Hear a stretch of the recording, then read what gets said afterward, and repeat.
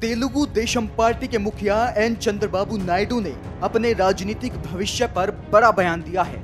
उन्होंने कहा है कि अगर जनता ने 2024 में टीडीपी को सत्ता में वापस नहीं बैठाया तो यह उनका आखिरी चुनाव होगा।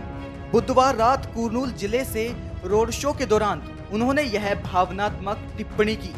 इस दौरान उन्होंने अपनी शपथ को याद किया कि जब तक उनकी पार्टी सत्ता में नहीं आती वे विधानसभा में नहीं जाएँगे।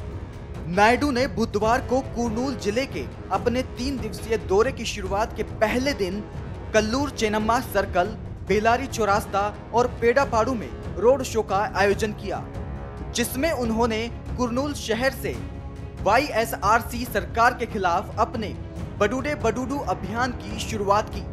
बाद में वह कोडुमूर पहुँचे।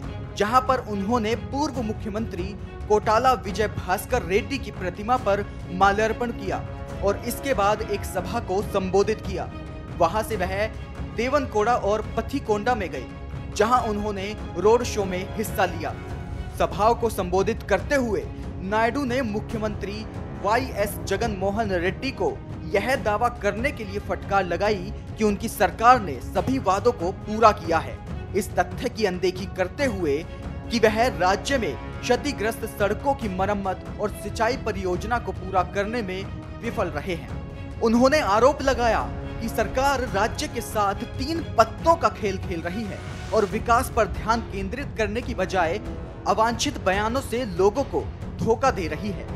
इससे पहले नायडू ने और वाकल में छात्रों और युवाओं के साथ बातचीत भी की और कहा कि जगन शिक्षित युवाओं को नौकरी देने के अपने वादे को पूरा करने में विफल रहे।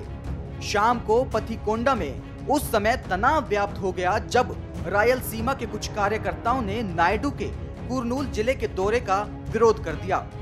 तीन दिवसीय दौरे पर कुरनूल आए नायडू के लिए तेदेपा कार्यकर्ताओं ने स्वागत समारोह का आयोजन किया था और इसी बीच रायलसीमा के कार्यकर्ता मौके पर पहुँचे और गो बैक नायडू के नारे लगाकर और तख्तियाँ लेकर विरोध करने लगे। हालाँकि पुलिस ने उनके इस विरोध को नाकाम कर दिया और रायलसीमा के कुछ कार्यकर्ताओं को हिरासत में लेकर उन्हें पथिकोंडा पुलिस स्टेशन में स्थानांतरित कर दिया। Video desk Amar Ujala dot com. Download करें अमर उजाला ऐप और पाएँ खबरें लगातार। अगर आप ये वीडियो YouTube पर देख रहे हैं तो हमारे चैनल को सब्सक्राइब करें और बेल आइकन को दबाना ना भूलें। अगर आप फेसबुक पर ये वीडियो देख रहे हैं तो हमारे पेज को लाइक करें। डाउनलोड करें अमर उजाला ऐप और पाएँ खबरें लगातार। अगर आप ये वीडियो YouTube पर देख रहे हैं तो हमारे चैनल को सब्सक्राइब करें और बेल आइकन को दबाना ना भूलें। अगर आप Facebook पर ये वीडियो देख रहे हैं तो हमारे पेज को लाइक करें।